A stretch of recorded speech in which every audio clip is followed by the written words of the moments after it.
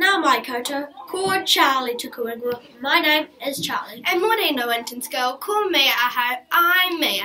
Welcome back to the NEWS News. Today is the day Diapedi, the 8th of March.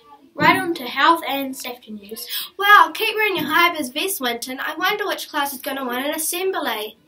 A reminder, if you do not have your pōtae, you need to be under the sunshine in the junior eating area. On to some smart news. The UV SunSmart index for today is medium. Stay hydrated, Winton School. On to birthday news. Happy birthday to Brody in room 7. We hope you have a great day, Brody. Now, if you missed any notices, you can either rewatch the news again or read all the notices in the text box below. And that's all for the Winton School News. Thanks for tuning in. That's all from me, Kaki Te Popo. And that's it from me. See you next week, Winton School.